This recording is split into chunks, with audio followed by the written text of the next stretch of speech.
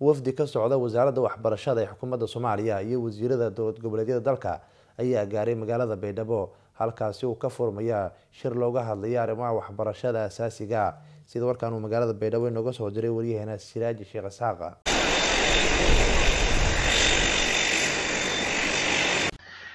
xilli maalinta berito ah magaalada baydhabo lagu wado inuu ka furmo shir looga hadlayo waxbarashada iyo dhaqangelinta manhajka cusub ee waxbarashada soomaaliya ayaa waxaa maanta magaalada baydhabo soo gaaray wasiirada wasaaradaha waxbarashada maamul goboleedyada xubnaha ka dowladda dhexe iyo agaasimaha guud ee wasaaradda waxbarashada hidaha iyo tacliinta sare xukuumadda soomaaliya. Iyadoona maalinta berito la rajaynayo in furitaanka shirka uu ka soo qayb galo wasiirka wasaaradda waxbarashada hidaha iyo tacliinta sare ee xukuumadda soomaaliya waxaana garoonka diyaaradaha magaalada baydhabo si diiran ugu soo dhoweeyey wafudan.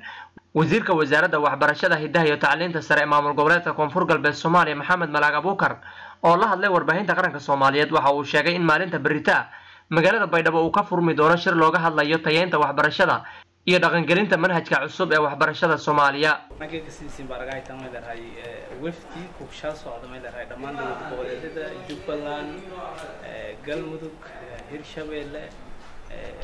federaalka wasaaradda federaalka iyo gobolka banaadir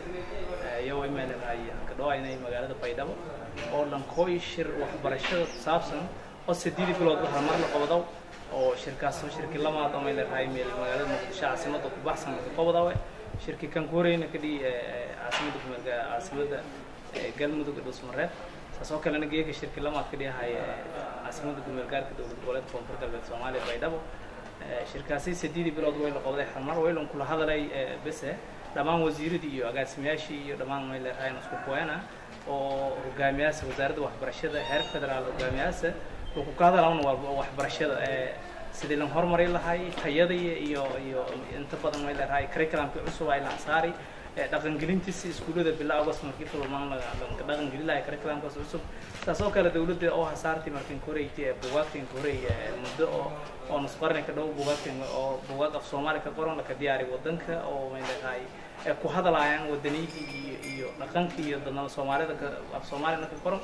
saas oo kale buugaagtaas oo fasalka kood ilaa afraad iyo nolofadoo sana dugsiyeedka markii isu furmo dhammaan soomaaliya intii la hirgelay kuwada bilowda. Wada hadal may leedahay sidii hirgelintiisii lagu ku hadala doona haddii ilahay er saas oo kale dhammaan waxyaabihii waxbarashada khuseeya sidii tayadii lan samay lahay. Iyo macalimiin naftatiisa hota la qorahayo oo markin koreyti dowladda macalimiin ilaa saddex boqol oo shaqaaleysiyahay fiyoona oo dowlad goboleedyada dhammaantii hota imtixaan lan diyaari ahay in lagu qaado macalimiintaas oo la fado macalimiinta rasmiga ahay soomaaliya horey la hada jirta intii lahanaga sideedaas boqolna bilow naga daano oo state kastana talay ilaa konton macalin. Marka iidan ka faraxsan markii kantina ka dhawayna may leedahay magaalada baydhabo oo waydana iidan dhawaa shirkaas wayna socdaan ilaa toban shanta bilo wayna ninka waydoona taa wasiirka waxbarashada heer federaal suna may leedahay isugu doona may leedahay ninkoyo dhammaan geekana kooyan wasiirada oo ku shal socda stateska dhammaan gobolka banaadir isuna markin koreyti iyo tiwnahan wala qeyb galahay shirkaasi waxbarashada lagu ka hadalaw markan farxad weyn aniga inta reer baydhab ahaan iyo baxda waxbarashadii wasaarad ahaan guulanin inta geekani may leedahay wabdigaas intaa maalmaha socdoona may leedahay lagu wada hadala doona insha allahu tacaala shirkana geeka qeyb ka mid a bilaawo doona laakiin si toosayna baraman furmo doona haddii ilaahay siraaji shaysaaq warbaahinta qaranka soomaaliya baydhabo